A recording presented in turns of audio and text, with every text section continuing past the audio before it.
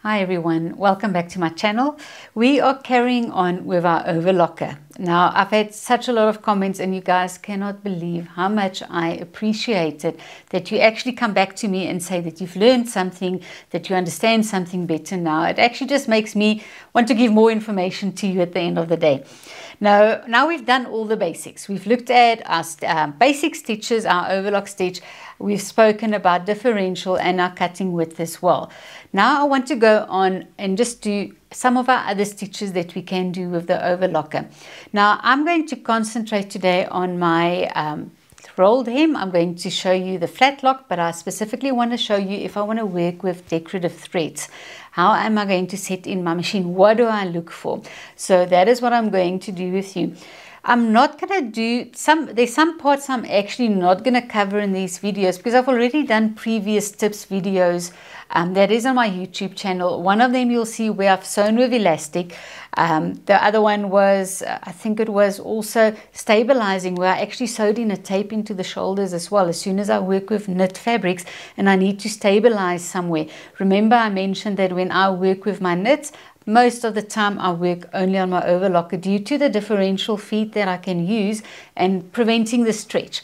Now, if I'm working with a knit, for instance, on the shoulder, I don't want it to stretch out. Otherwise, by the end of the day, it's almost as if the shoulder line is not sitting there anymore. It's actually grown a little bit and it's dragging down on the arm a little bit. Now, there I stabilize it Go look for those videos as well. I will put them in the information box at the bottom as well. I'll put links there and go and watch those videos. So I won't be covering that again in this basics that we are doing.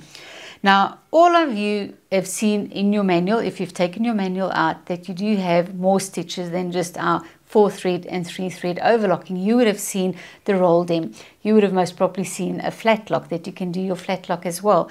Now, I'm going to show you just the basic settings on my machine and give you some tips when I'm doing those stitches, what you've got to look out for, a little bit of troubleshooting if I can put it that way because um, in the shop I always have people phoning me and they say oh I've got loops going to the left of my stitching all that. And I just want to mention that to you because you cannot believe how many phone calls I do get on that. And I do, it's such a easy fix really. So we'll look at that as well. And then um, for me, it's important that if I work with thicker threads, I love working with my thicker threads. Now, if you look at the picture I'm showing you, I'm actually putting these sort of threads against a normal polyester thread that we work with so that you can see the thickness of this. Now, this one specifically has got a bit of a sheen to it. Um, it's actually a upholstery thread with a bit of a sheen. We've got Madeira threads as well. Um, this is the Madeira Decora number six, which is also a thicker one. And I'm going to talk you through working with these, how thick the, the thread can be, how, um, you know, where, where am I really pushing it too much, if I can put it that way. So we are going to look at all of that as well in, in this talk that we're having on our overlockers. Let's look at our rolled hem now that we're going to do. Now, first off, if you look at your manual, you're going to see that you will have to change your settings. Now, what you will notice as well is that your bottom looper, which is the one totally on the right on your tension uh, on your tension discs, you will notice that they tell you to take that to a higher tension. Now, the reason for that is that if I don't take it to a higher tension, all I'm actually going to do is just a narrow hem. That is all I'm going to do, which we will also cover it uh, with you. But with going with to a higher tension, that bottom looper is pulling tight. So my top looper thread is literally being pulled all the way to the bottom, folding my fabric, and that is giving me the roll effect that I want. Now, again, like I mentioned, you've got to follow your your tensions in your in your manual. I really don't know what your machine is going to ask for. And that's why I'm also going to talk you through a little bit of troubleshooting so that you can just fine tune it. Certain things that I want you to look at to fine tune it. And the next thing that we are going to look at for rolled hem as well, you'll see it in your manual, is we're going to go to a shorter length. We're going to change our cutting width so we're not cutting on such a big cutting width. The more fabric I'm leaving, um, the untidier almost my roll is going to be and sometimes it won't roll it properly so I need to cut off more fabric meaning I'm going to a lower number on my cutting width or if you don't have numbers you are moving that bottom blade to the left of your machine Okay, so you're taking it all the way to the left. The only time when I don't do that is if I'm working with really sheer fabrics like my chiffon. Then I like to leave a little bit more fabric. Um, I don't cut off as much because with a chiffon, if there's not a lot of grip on that fabric, I'm going to sew my roll hem and I can literally just peel it off. So with chiffons, I don't follow my manual. I actually go to a higher cutting width and I test it till I'm happy that I've got enough of that fabric rolling in that stitch. You can literally at the bottom go and see where that roll ends. And that's going to tell you, do I have enough fabric in these stitches or is there too little. And if there's too little, you also see as it's rolled, you'll usually see a bit of the fiber sticking out, giving you a very untidy rolled hem as well. Now that is what I want you to look for. When we're going to sew now as well, there's also a bit of troubleshooting that I want you to do when we are just fine tuning our tensions and I'll talk to you now as soon as we start sewing it. Now, going to three thread, I think I've just got to go a step back. Uh, sorry, I forgot to tell you this. Now, going to a three thread. And this is part of what happens to a roll hem as well. Some people don't remove their left needle. And if you don't remove that left needle, if you look at this picture that I'm showing you now, look at those loops going to the left. That needle is literally still there. It's still catching my top looper. So look at this photo where I've tried to zoom in on my top looper. Look how that needle is still catching my top looper thread. But there's no thread in the needle to keep that top looper thread down on my fabric to form the stitch. That is why I get those little loops happening where I'm not actually sewing it down and it again happens with three thread and also with my rolled hem just my three thread overlocker and my rolled hem so if you see that immediately go and look do I have my left needle in still if you do please remove it. Um, I know a lot of people are a bit wary of removing their needles but it's going to give you a bit of an untidy finish at the end of the day now, going back, sorry, I just wanted to mention that. I actually forgot to mention that. But now going back again to our settings. My machine, when I start sewing, I'm going to show you where I actually move my stitch finger away. Um, I know the really older machines you had to actually change your stitch plate. But most of them we don't have to anymore. So go and have a look for this on your machine as well. And then we're going to go to a smaller stitch length. We are going to go to um, differential normal or one unless I'm getting puckers or it's stretching my fabric out. Then I will engage my differential to either again prevent puckers, to smooth it out, and there I will go to a lower number on my differential. If I'm stretching out on a fabric where I don't want to stretch it out, and that is sometimes, especially if we are working on these soft sheer fabrics, I really don't want that wave then I can go and engage differential again to a higher number and it will just push in more of the fabric from the front than what's going out the back and that at the end of the day is going to prevent that stretch for us. Now I'm going to just go to my machine, I'm going to set it up and then I'm going to talk you through the rest of the steps. We're going to start with our roll hem now. So you've gone and you've removed your left needle for me, you're leaving your right needle in. I've got this stitch lever over there. And this is just going to pull, remember we spoke in the previous videos, we spoke about my stitch finger. Now when I pull this away, it actually just pulls that stitch finger away. And that is now, you'll see on the photo that I'm showing you, because it's moved away, there's no support for my fabric. And that is then when my fabric, as soon as I sew, the fabric is going to be able to buckle because there's no stitch finger that's lying under the fabric for the stitch to form. Your next step will be going to your tension dials. We are only going to, for now, on my machine specifically, again, as I said, I don't know what your manual is saying, but I start with my bottom looper and I'm going to go higher. Mine will be happy on about a six and a half to a seven and a half that I'm working with. Some machines will tell you to maybe go half up on your um, top looper. I leave mine on my basic settings for now. I'm going to test it first. And then the next thing we're going to do, I'm going to go and turn my stitch dial to a smaller stitch length. Now, some of yours will have a R for a rolled hem. Some of yours will have just a little line. Um, and anywhere in between that will give me my stitch. Again, my manual is giving me settings, but I'm using that as a guide. I go and again, I say, what is my fabric wanting when I'm sewing? Does it want a slightly longer stitch length than what the manual said? Or does do I have to go make a smaller stitch length? So this is really, I want you to see your manual as your guide and your starting point. It isn't set in stone that that is going to work for all fabrics. They've gone when they've set in your man or set in the machine and put it in the manual for you. They've most probably used a cotton, a lightweight cotton fabric. Now I'm going to be working on all sorts of fabric. Again, we've rolled hem, we can't have heavyweight. That heavyweight won't actually fold for me. It's my softer fabrics that I'm going to work with, but some of them will have a bit of a stretch to it. We're getting a lot of stretch, soft, stretchy woven fabrics at the moment, so you might even have a bit of a stretch woven, um, even our knits. So all of that I've got to take into consideration, but I will always start on a basic setting on my basic fabric. And from there, if I'm happy with the setting, then I can go to, let's say, my stretch fabric or whatever fabric I'm working with and just fine tune that setting for myself. I'm doing a rolled hem. You can see this is a softer cotton. As I said, poly cotton, your polyester cotton is also soft. It will fold. Your viscose fabrics, all of that. But get more uh, stable fabric to do your test.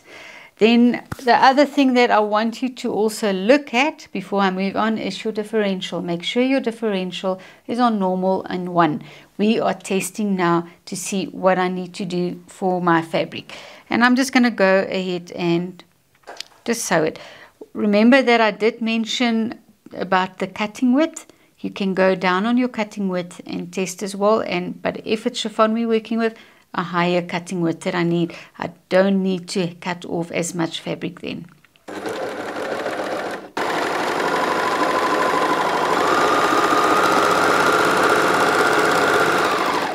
There we go. Now look at the photos that I'm showing you. Can you see what a perfect rolled hem looks like? Look at the back side of that rolled hem as well. I want you to notice that my top looper thread has actually pulled all the way to the bottom and it's lining up at, with that bottom thread for me. And I can also see that the fabric is cooled nicely. Now sometimes when I work the rolled hem, I can also get the looser loops to the left of the fabric. So can you see the loop sticking out on the picture that I'm showing you there? Now if that happens, that means that my top thread is too loose and it's actually pulling past that stitch line that I want. And that is when I know, okay, go and just tighten my top looper just a little bit and I can go up half a setting and that should be able to pull that stitch back again so that we've got that nice neat finish on the edge of that stitch. Another thing that can happen and I'm going to show you here, can you see the puckering that I'm getting? Now sometimes on soft fabrics I'm going to get a little bit of a puckering. Now if that puckering is going to happen then I'm going to need to engage my differential and I need to go to a lower number, go to my lowest. Some of our machines will be 0.7, some will be 0.5, whatever the lower one is. And all that's going to do, literally again, if you look back at the videos we've done on differential, it actually pushes less fabric in on the front of the foot than what's being pulled out. And in effect, I'm pulling the fabric tighter and I'm preventing that puckering from happening. Again, the other way around, and I'm giving you all this troubleshooting stuff, guys, because this is really important. The other way around is I'm getting a little bit of a wave. Now, if I get it making more of a wave and it's on a woven, let's say it's on my chiffon and I don't want that wave, then I can go and I go higher on the differential. Again, fine tuning my stitch more. Do you see the options that we have just on our roll hem already? What we've got to look for, how I fine tune it, and also just getting that perfect, perfect stitch every time that I'm working with. And remember, don't forget about your cutting width. I want you to also look at the cutting of that fabric. Is there enough fabric that's folding into that stitched area to give it that nice roll. And again, if there's too much fabric in there, you will also notice it because then it's you'll literally see it's almost distorting my stitch or it doesn't want to roll properly. So those are the things that you're going to look for when we're troubleshooting with our rolled hem and you're going to work on different fabrics. So every fabric is really going to react differently at the end of the way at, at the end of the day. So you've got to make sure what that fabric needs. Now the fun part is once you sort this out, you can now go and add a decorative thread. We've got all these beautiful variegated threads that we can do rolled hems with. I just love working my rolled hems with a, a variegated thread. Now we get our variegated threads in our 100% cotton like our Gutermanns.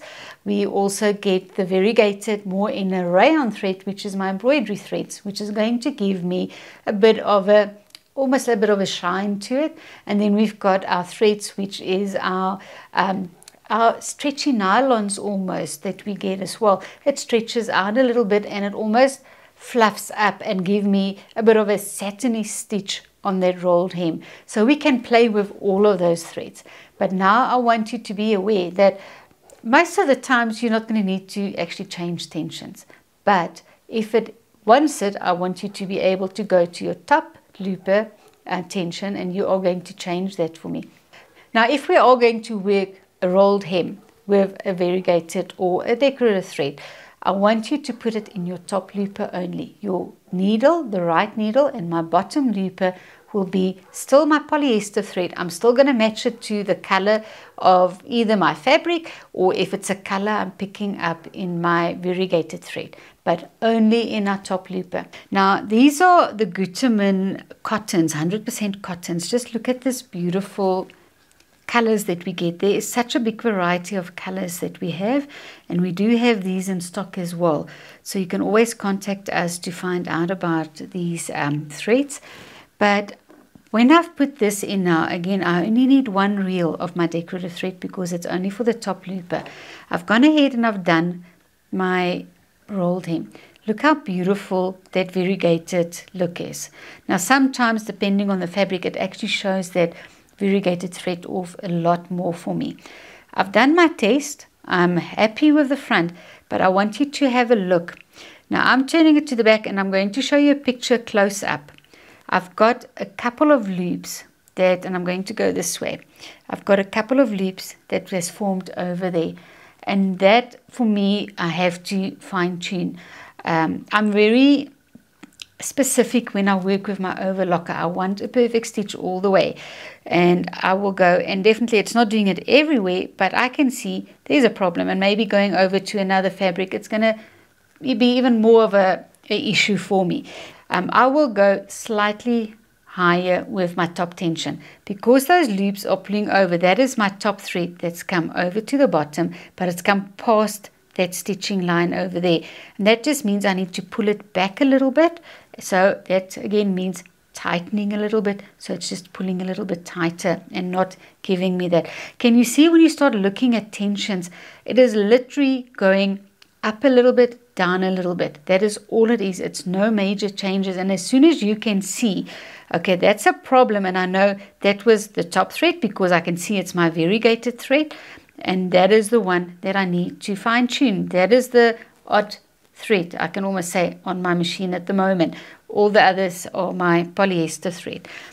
We've just finished with the roll hem, so please be sure that you go and set your machine back to your normal basic settings, whatever your tensions was, your stitch length, and don't forget your little stitch lever. So many times I even go and I sew without putting the stitch finger on there and then I don't get a proper stitch. It almost looks like it's wanting to fold my fabric still with the normal overlocker stitch. So go and do that for me. I've now gone and also put my left needle in. I took my right needle out, put my left needle in because I want to do a wide flat lock so that you can see it clearly. You will see that you can do a right a needle which is going to give you a narrow flat lock or a left needle which gives us the wide flat lock stitch. Now whatever your instructions is, first go test it. But I'm going to tell you what I do with my machine, and it always works for me. Um, I don't really go to my book for to look at what the tension should be. The only thing I do, I go to my bottom looper, I set it to the highest tension.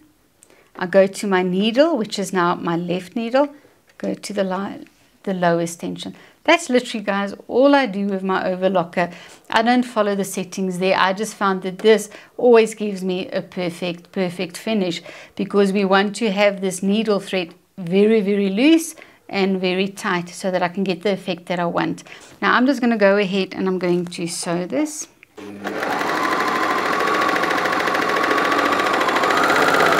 Now first off, can you see because I'm not holding onto my thread, look what's happened. I'm showing you all these things because this is also a bit of a troubleshooting video.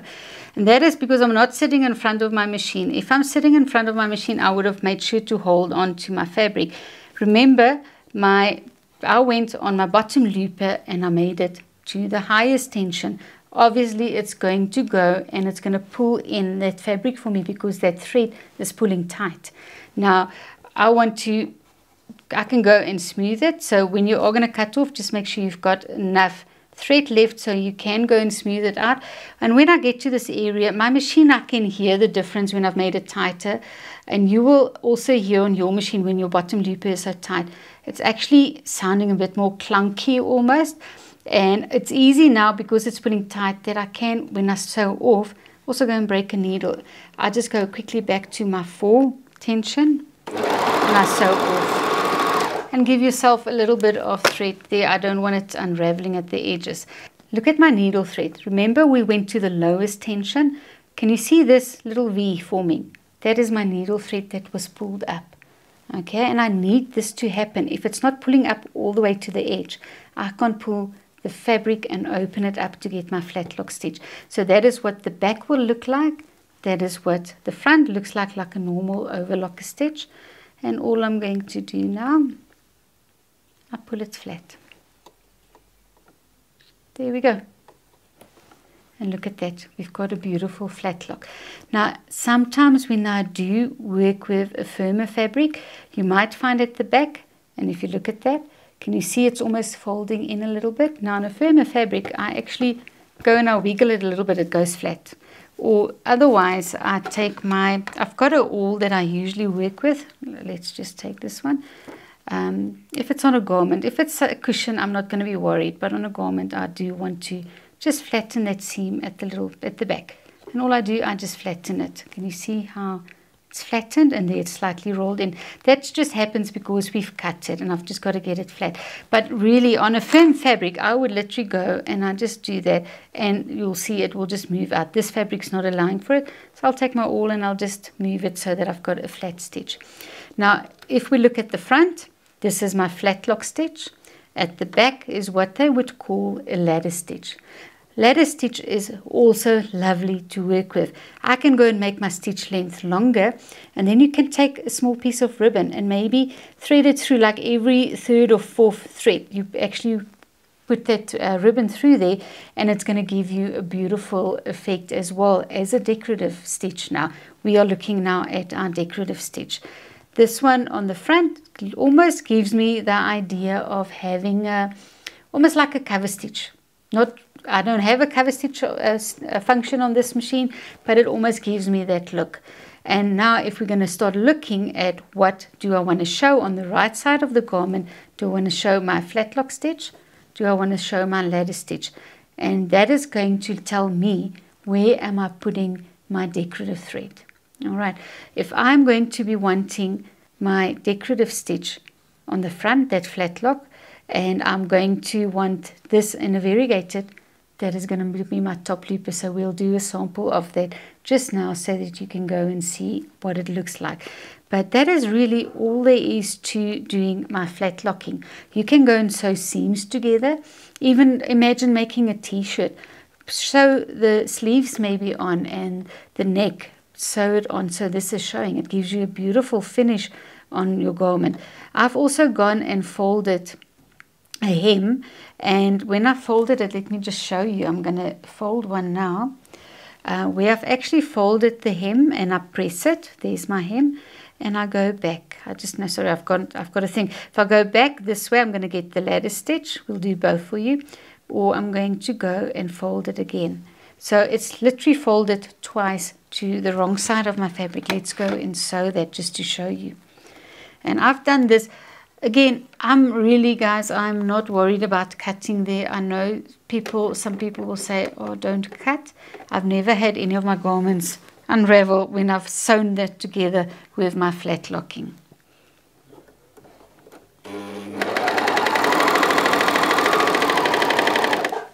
All right, now all I'm going to do, I'm going to again pull this flat. And I've just gone and I've done a beautiful little hem for myself. Can you see it's caught in on the inside there? And look at that. Now imagine doing a t-shirt like this. If you are, just a word of caution, if you're going to do a t-shirt with this, um, you've got to stabilize, put a nice stretch stabilizer on as well so that I'm not distorting my fabric and battling to do this decorative stitch. If you look at our Friday video that's coming out, it's going to be our Friday feature. We're going to be talking all about stabilizers as well. But there I've gone and look at that. It's a beautiful hem that I've done now again, if I did it the other way around, let's just do it the other way around.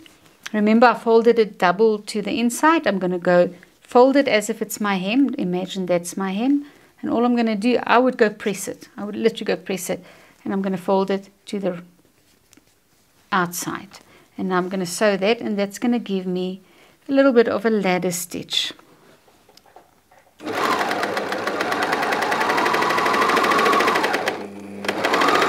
Don't worry about this happening. I'm not sitting there holding on to my thread. That is really just my tension that's very tight on the bottom looper. Okay, so we've done it. I've folded this to the outside. And all I'm going to do now, I'm going to pull this open. And this is the right side of my fabric. I've now got the ladder stitch on the right side of my fabric. The inside look what my hem is finished like. It, it really looks like a cover stitch at the end of the day on the inside. And I've also seen, my husband has recently bought t-shirts from a certain shop. And the t-shirts, the hemming was finished with this ladder stitch on the sleeves and at the hem at the bottom, which I thought was actually amazing because we can copy it with our overlocker.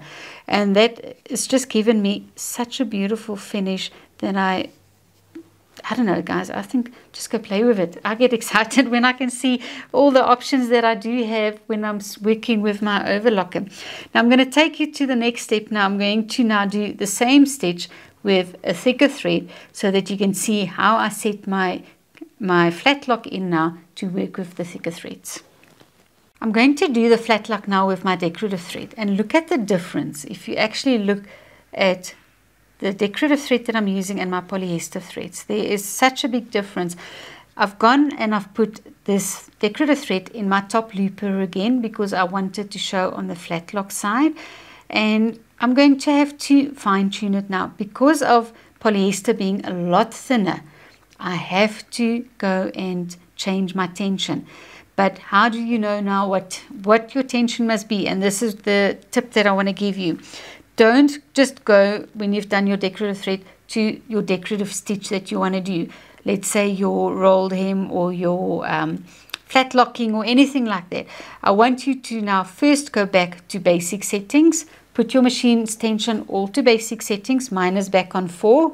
I'm back on a stitch length 2.5 which I know I'm going to actually go to a 3 just for my test because it's a thicker thread. My everything is normal. My differential, everything, cutting width, everything is normal. I want you to first do an overlock stitch. That's the only way that I'm going to see how do I have to set in my top looper tension now. When I look at that overlock stitch, that is going to guide me how much I've got to go down. If I immediately go to my decorative stitch where I've already taken the needle thread down. I've taken the bottom looper up. I've already played with the tensions. Now to try and, and actually perfect that top tension is going to be a nightmare for you. So follow along and rather go and do a normal overlock stitch and we're going to just do the overlock stitch on my normal settings. I'm not already I'm not playing anything yet. I want to see what happens. So let's go and have a look. Look what's happened to my top looper, that, what it's actually done. Look at the photo that I'm showing you. Can you see how it's actually pulling my bottom thread, and that you'll see that's the light blue polyester, how it's pulling it to the top side of my fabric. Because of the thickness of that fabric, it's actually pulling up sorry, because of the thickness of the thread, it's actually pulling that bottom thread all the way to the top, which I don't want. I want to go and get a absolutely balanced stitch where this thicker decorative thread and my thinner polyester thread must still meet on the edge of my fabric.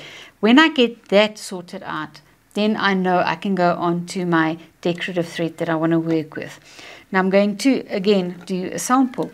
I'm going to go lower. I'm going to actually go one and a half lower because I know I'm going to go quite a bit lower.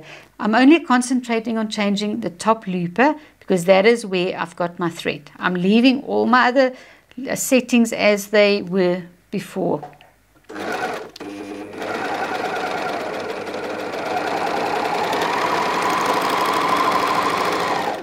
I've gone down on my tensions one and a half on the settings and it's given me an absolutely stunning stitch. I know my machine already so I know I had to go immediately one and a half. But now if you look at my picture as well, can you see how the bottom thread, the polyester, and my thicker thread on the top, they're all meeting on the edge. I've got a perfect stitch. I am happy now. I can now go and do my decorative stitch. Now, I know I've gone from a four to a two and a half. I went down with one and a half. Now, if your top stitch, oh, I keep saying top stitch. Now, if your top looper setting in your manual tells you it's got to be on, let's let's just imagine it said it's got to be on five for this stitch, or that was your setting that you needed. That is a setting for all the threads being the same, all my threads being my polyester.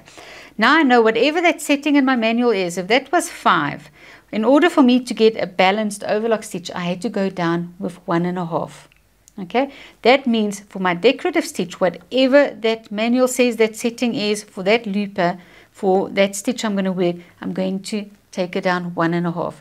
I don't have to go guess now. I already know the balance between my polyester and that one was perfect when I loosened my tension or went to a lower tension with one and a half. I keep repeating it, but I want you to understand what we are doing. I have gone and done my check. I know it's one and a half lower. I take my decorative, I take my manual, I look what is that decorative stitch telling me my settings must be. It's telling me my needle must be at a setting, my top looper, my bottom looper. I still put my needle and my bottom looper at the tensions that is needed because I'm still working with my polyester. My odd fabric, my odd tension is going to be, or the odd thread is the top. That's the one I'm going to set. Now my book is saying, let's say it said 5. When I did my balanced overlock, I know I've got to go and minus one and a half. I had to go one and a half lower to actually get my balanced overlock stitch. So 5 minus my one and a half, I'm going to set for that decorative stitch my thread tension to three and a half. I hope you're understanding how I'm explaining that. But that is how I work with decorative threads. I don't try and guess after I've set all the other tensions or I've gone directly to that stitch. I worry about getting my balanced overlock stitch. That is going to tell me exactly what I've got to do when I go to my decorative stitch. Now let's go and do a flat lock. Again, I've gone to my lowest for my needle. I've gone to the highest for my bottom looper. And I know that I had to go one and a half down. So I am on four, I'm on two and a half. My, my normal tension was on four for my flat locking.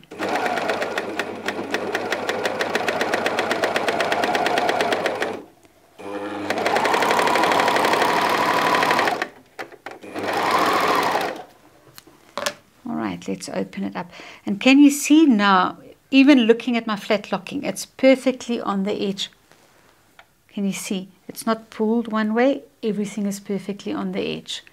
Now all I need to do, I need to open it up. Look at that beautiful flatlock stitch. That has given me a perfect, perfect flatlock stitch. Looking at what we've done in this video, I really wanted to Concentrate on the decorative, the two decorative stitches, I rolled hem and our flat lock. But as I was talking to you, it actually went into a bit of troubleshooting as well. And I think that was really important to actually give you that information so that when you're sitting at home and you're going to take out those thicker threads so that you know how to set in your machine. So uh, this is going to be a bit of a longer, or it was a longer video.